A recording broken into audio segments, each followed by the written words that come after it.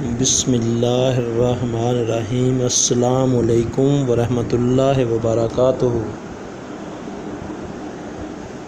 नबी करीम सल्लल्लाहु अलैहि वसल्लम ने इरशाद फरमाया, अपनी औलाद को सात साल की उम्र में नमाज़ सिखाओ और जब वो दस साल के हो जाएँ तो नमाज़ के लिए उन पर सख्ती करो और उनके बिस्तर अलग कर दो। अबू दाऊद अब आप दोस्तों से भी गुजारिश है कि अपन एज नबी करीम अलैहि वसल्लम के हुक्म के मुताबिक अपनी औलाद को सात साल की उम्र में नमाज़ सिखाएँ और जब वो दस साल के हो जाएँ तो नमाज़ के लिए उन पर सख्ती कीजिए।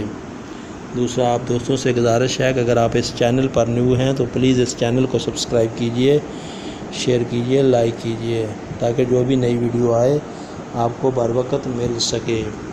अस्सलाम वालेकुम रहमतुल्लाहि व अल्लाह निगहबान